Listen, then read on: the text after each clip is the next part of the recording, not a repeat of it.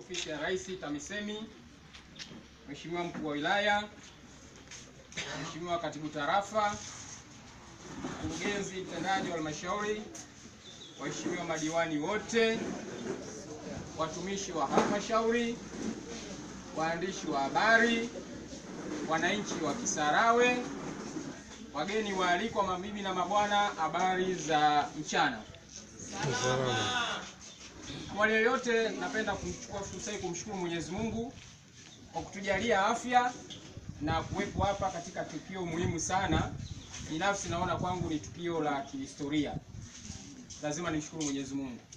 Lakini kipekee nimshukuru sana tena sana Mheshimiwa mbunge wetu, naibu waziri ofisi ya Rais TAMISEMI, ndugu Selemani Jafu. Shukrani zangu zimegawanyika katika maeneo mengi.